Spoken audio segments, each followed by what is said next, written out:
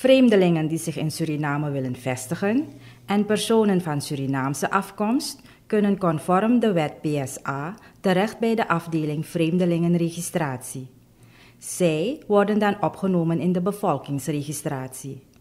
De afdeling Vreemdelingenregistratie valt onder het ministerie van Binnenlandse Zaken. Het is gevestigd in het gebouw van het CBB aan de Jagannath Lachmanstraat. Praveen Kalpu is hoofd van de Vreemdelingenregistratie. Deze afdeling heeft als taak om het vreemdelingenbestand voortdurend bij te houden. Elke week worden er 100 tot 150 nieuwe registraties en verlengingen verwerkt. De taken van de afdeling vreemdelingenregistratie is meer het verblijfsvergunning uh, af te stempelen, uh, een geldige verblijfsvergunning, een PSA-document. Mensen, personen die zich uh, hebben gemeend hier in Suriname te vestigen. zo ook met overige administratiewerkzaamheden dat de afdeling zich bezighoudt om het VR-bestand up-to-date te houden. PSA staat voor personen van Surinaamse afkomst. Om in aanmerking te komen voor de PSA-status moet de aanvrager voldoen aan de wettelijke verplichtingen. Een PSA-status, of zo aan te geven, eh, PSA staat voor personen van Surinaamse afkomst.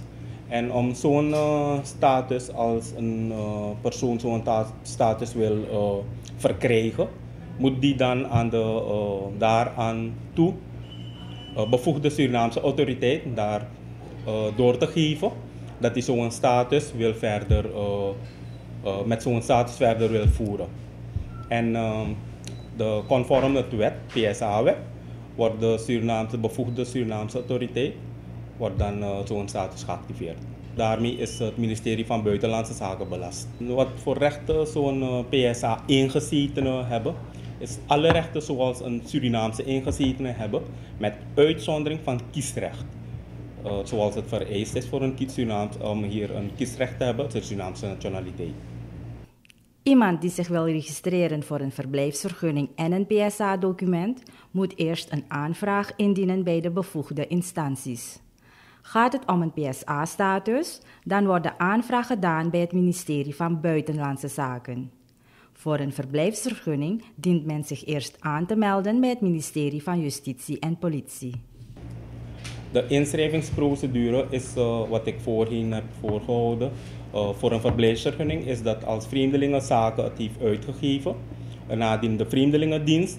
En dan meldt, zich de, meldt persoon zich aan hier op de afdeling. Hierna naar het wijkkantoor. Voor een uh, PSA, als zo'n persoon het PSA-document heeft ontvangen van Buitenlandse Zaken.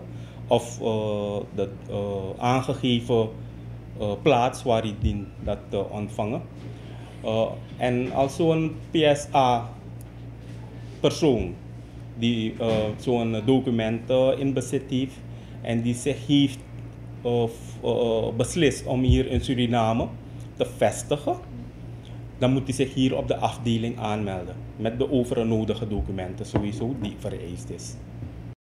De afdeling Vreemdelingenregistratie is gehuisvest in het gebouw van het CBB aan de Meester Jagannath Lachmanstraat 170.